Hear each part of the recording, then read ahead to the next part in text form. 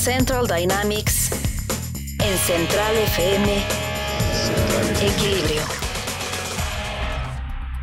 Gracias por estar aquí con nosotros en Central Dynamics y Enrique Ruiz del Río al frente de esta organización, como siempre con algunos temas que ahora pues con estas condiciones del mundo parece que, que todo se hace un poco más lento y, y, justamente de cosas de estas vamos a tratar el día de hoy. ¿Cómo estás, querido Enrique? ¿Qué tal, Pedro? Buenos días. Buenos días. Me da mucho gusto saludarte. Fíjate que efectivamente el mundo está cambiando y muchos de sus procesos también cambian y se hacen más lentos.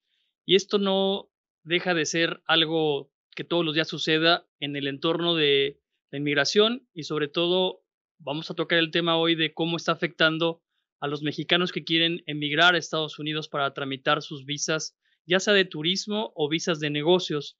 Eh, la gente nos pregunta constantemente por qué se cancelan las citas, si hay que ser más eh, observadores y tener eh, formas de solicitar la visa con mayor antelación a lo que se hacía en el pasado y nos preguntan cuáles son las, las visas que se pueden tramitar para un mexicano que quiere emigrar a Estados Unidos y para eso hemos invitado a nuestro experto Luis Gess para que nos platique de estos temas. Buenos días, Luis.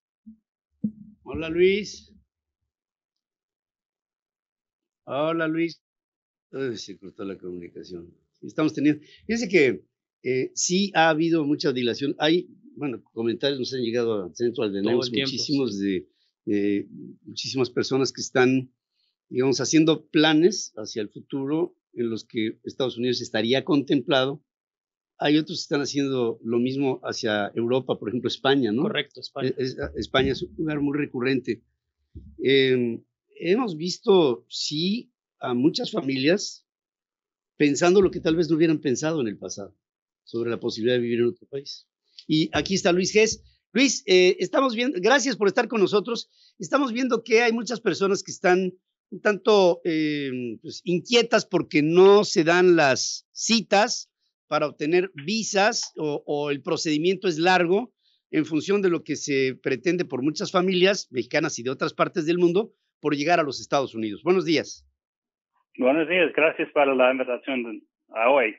Um, sí, la, cosa que estamos viendo en este momento es que hay tantos extranjeros, específicamente a mexicanos que, que están buscando opciones para quedar y vivir aquí. Um, la cosa que es muy común para los clientes de nosotros es la, si ellos quieren invertir aquí en los Estados Unidos y comprar una franquicia, un bienes raíces, una cosa que últimamente van a tener empleados, es una bien opción porque, um, por varias razones. Uh, la visa está bien por está válido por cuatro años. Uh, los niños pueden ir a la escuela pública y también no hay ningún uh, requisito que el extranjero necesite vivir y quedar aquí. Entonces, si ellos tienen otros negocios en México o cualquier país y necesitan ir para un mes, dos meses, tres meses, está bien, no afecta nada con, con la visa. Entonces, um, pero finalmente la, la cosa que siempre estamos buscando es qué es la mejor visa y qué es la mejor opción para el cliente, porque si ellos quieren tener un otro tipo de visa, siempre, siempre estamos abiertos para otras opciones. Todo depende de qué, qué es el final objetivo de, de los clientes. Pues sí, ese es, es, parte de lo que se pretendería y eh, yo me imagino que esto requiere en tu trabajo, en tu bufete de como abogado migratorio, una mayor atención en función de esa premura y, y por lo mismo tu capacidad para gestionar estas, eh, este procedimiento pues, resulta clave para, para las personas que se acercan a ti.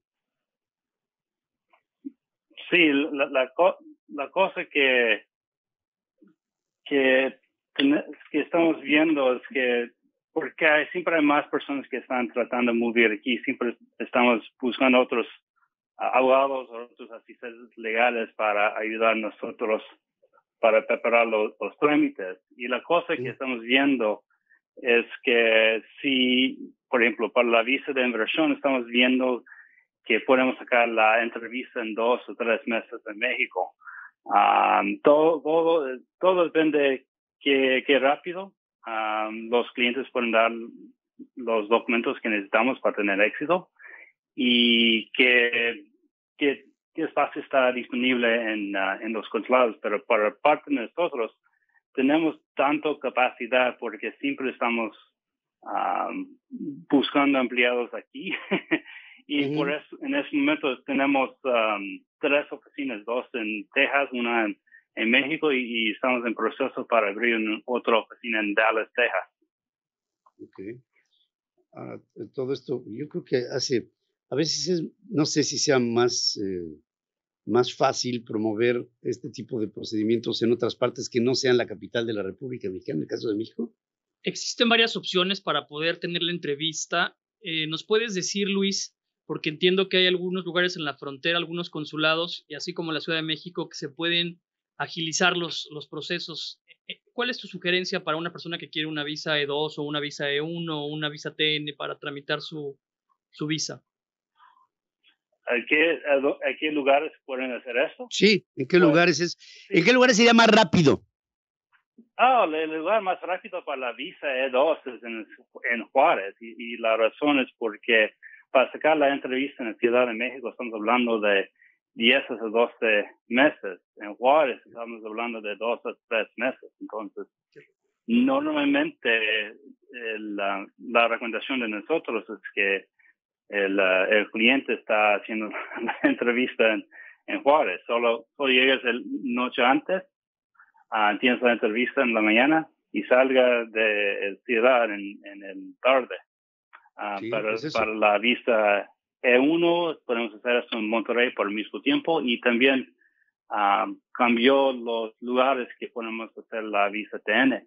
Antes del primer día de julio podemos sacar esto en cualquier consulado, pero en este momento solo podemos hacer esto, esta visa en Juárez, Monterrey y finalmente en Ciudad de México. Bueno, pues ahí está. Yo creo que es una clave buena. Enrique, ¿a dónde podríamos tener la oportunidad de contar con la asesoría de, Luis Gess? Para toda la gente que requiere información de servicios migratorios para poder eh, emigrar a Estados Unidos, hay que entrar al portal de www.centraldynamics.info. Ahí se despliega un banner con la información de Luis Gess, nos ponen sus datos y gente especialista del despacho de Luis Gess los estará contactando. Pues gracias Luis, te enviamos un saludo. Sé que estás lleno de trabajo, pero de todas maneras con capacidad para recibir más solicitudes de mucha gente que estará en comunicación contigo. Te mando un abrazo, querido Luis. Ah, gracias, gracias. Y, ustedes tienen un bien día. Gracias, igualmente también para ti, querido Enrique. Gracias. Muchas gracias, Pedro. Sigue escuchando a Pedro Ferriz de Con. Central FM